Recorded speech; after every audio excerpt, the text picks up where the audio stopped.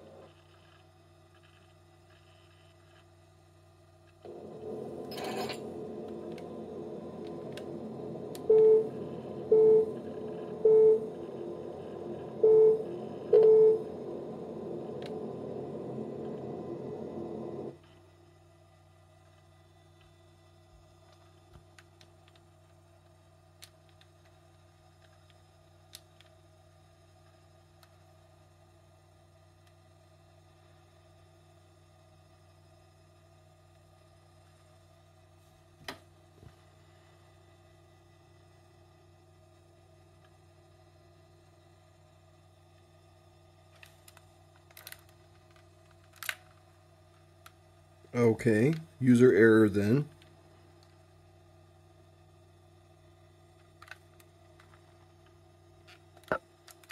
That's awkward.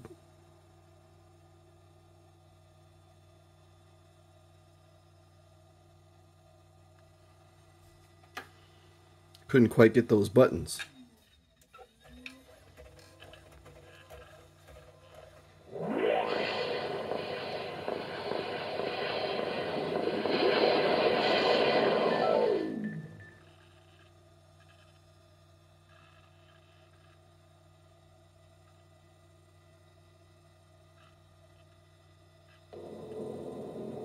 All right, so there you go. Um, very minimal dashboard experience here. Um, the way that this would go is, and there's so many ways to mod OG Xboxes, but so if you have, hmm, and I'm like a 1.3 or a 1.4, uh, or is it?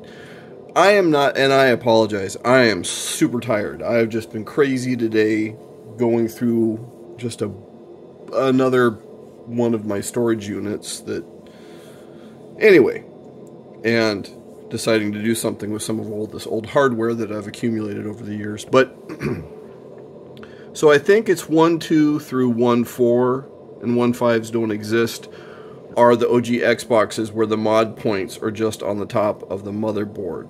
Um, those are the ones in my opinion that are super that are worth your time doing for sure, just because you don't have to remove the motherboard. Um, but it, this package comes in handy when you've got, you know, a pre 1.6, you know, a mother uh, Xbox that you do want to TSOP that doesn't have a functioning DVD drive, because then even though you're going to open it up, what if you don't have another DVD drive lying around? This just makes it super easy. And yeah, you're still going to want to replace the hard drive, but but that's way easier now, right? That you've got this done and there's no hurry. Um, and I would assume that once you've had it opened up, you know, that you would remove the clock capacitors and everything. But um, yeah, I've been wanting to do this for a while just to show how easy it is. And it's not super intuitive to use XBlast. Um, in the past, I've always used the Hexens disk, and that was super stupid easy, and it installs a lot more than this. Um, I'm not going to bother doing follow-up videos. There's other versions of, to, of this tool or tools built on it that are larger that require that this will fit on a standard 8 megabyte memory unit but I, I've read that there's like a 16 and a 32 megabyte flavor that you could put on a USB stick that installs more but you know what? It's modded. You can install whatever you want right?